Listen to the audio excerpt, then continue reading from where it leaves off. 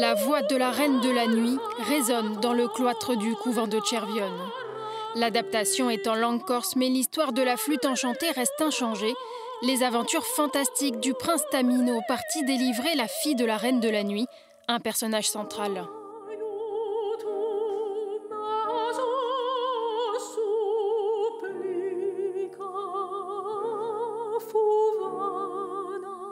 C'est un honneur. La Reine de la Nuit, c'est un rôle qui est très important, puisque c'est celui que finalement beaucoup de gens attendent, avec euh, le fameux air avec les petites vocalises euh, voilà, et les suraigus, on appelle ça les suraigus, les contre-notes, les contre-fa, celles à atteindre. Donc c'est un challenge.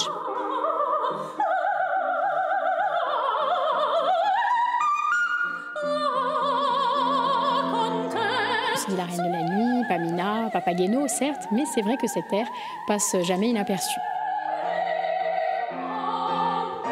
Le jour J, l'orchestre sera composé de 12 musiciens qui accompagneront sur scène les 16 solistes et 24 choristes qui chanteront en langue corse.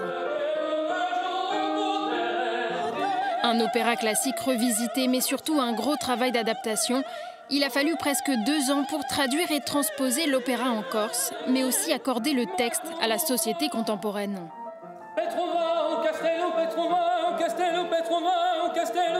Il s'agit d'abord de réadapter le livret en langue corse, il faut le traduire, sachant que n'importe quelle traduction dans n'importe quelle langue nécessite tout un tas de, d'affinage très précis, de mise au point sur quel mot, pourquoi, quand. Et ensuite, il faut adapter cette traduction à la musique et au chant.